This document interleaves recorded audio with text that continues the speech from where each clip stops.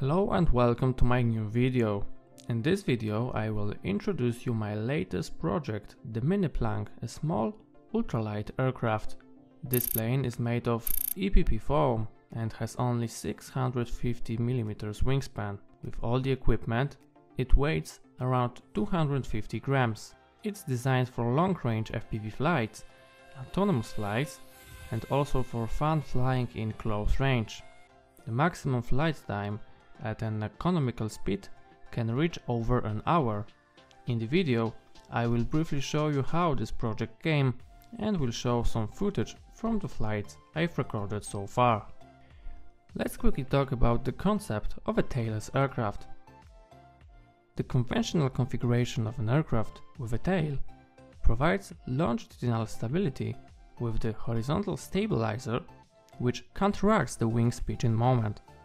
Ensuring longitudinal stability in such a configuration is not a significant challenge, and the aircraft is usually not very sensitive to the center of gravity position. However, it's different for a tailless aircraft. There are two main popular configurations for tailless aircraft, and the methods of providing longitudinal stability differ in each of them. The first one is the swept wing. In this case, we can use multiply airfoils. Stability can always be achieved by applying the appropriate sweep and twist. However, for optimal performance, a group of airfoils with a low pitching moment close to zero are used. These are airfoils with low reflex, such as the Selig S5020. This requires less wing twist, resulting in better characteristics over a wide range of speed. The second solution is the plank, which is a wing without sweep or with very small sweep angle. In this case, the choice of the airfoil is crucial because it's the only mechanism providing longitudinal stability.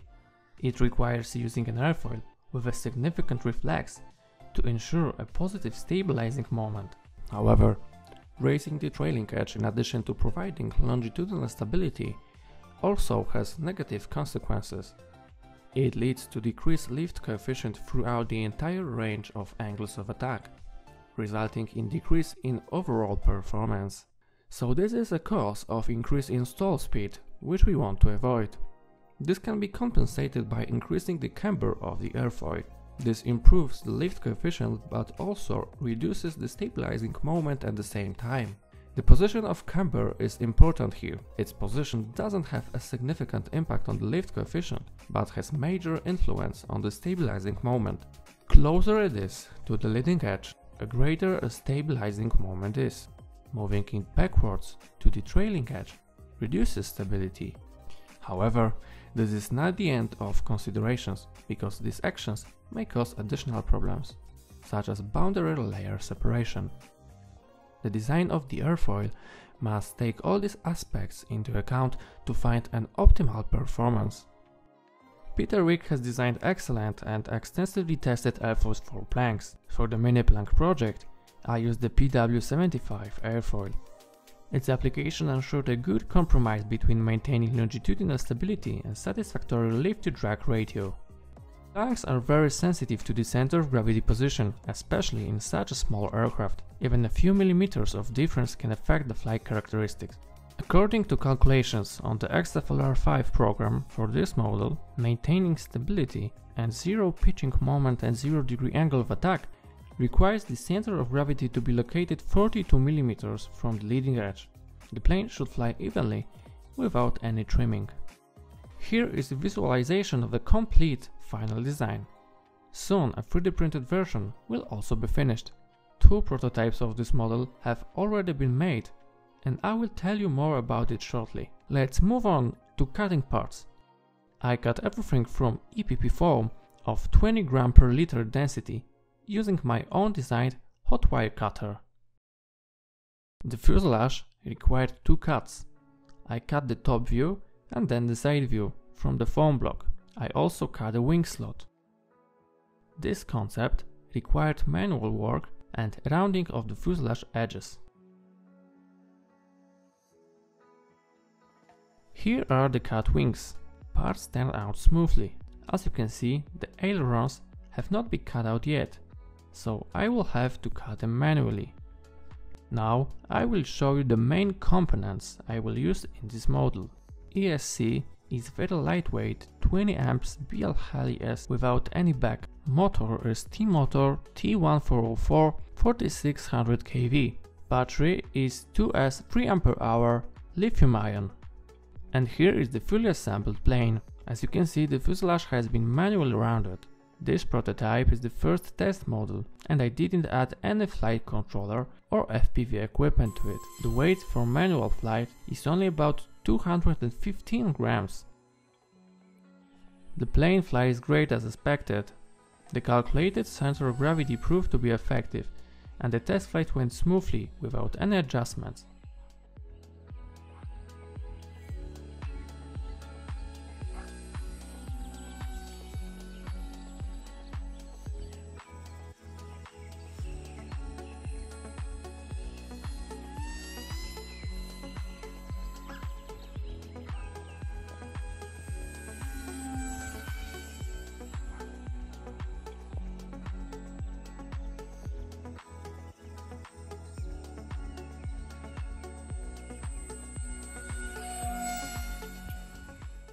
However, I wanted to make a few changes to the plane.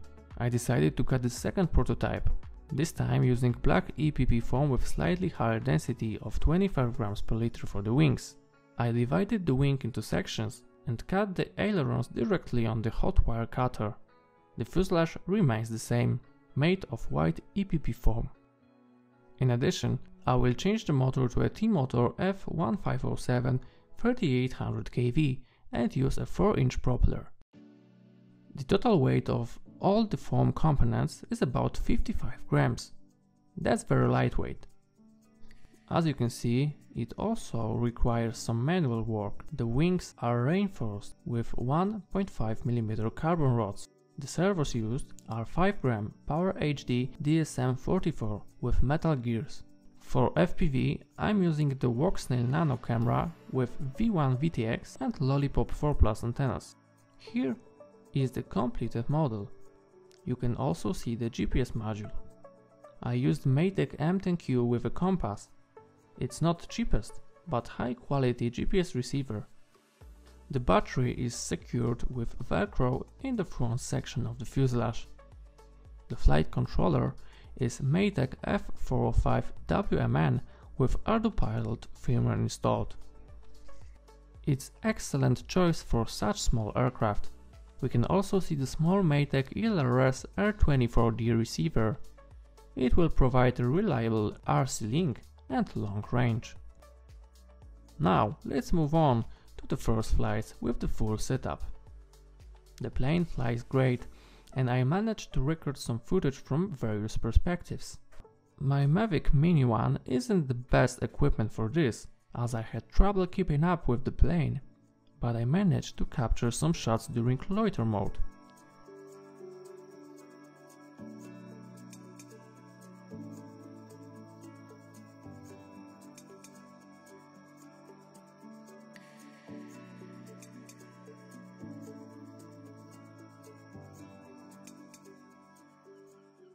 And now, first automatic takeoff.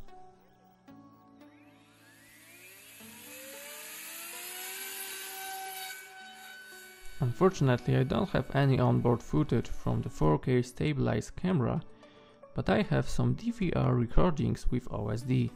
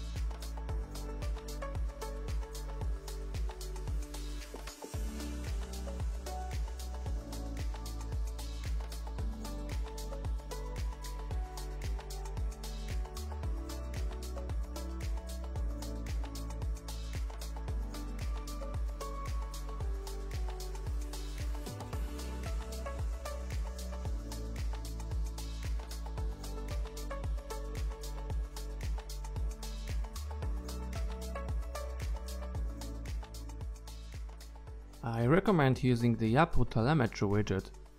It works very well with ELRS. The displayed parameters look nice and are easily readable.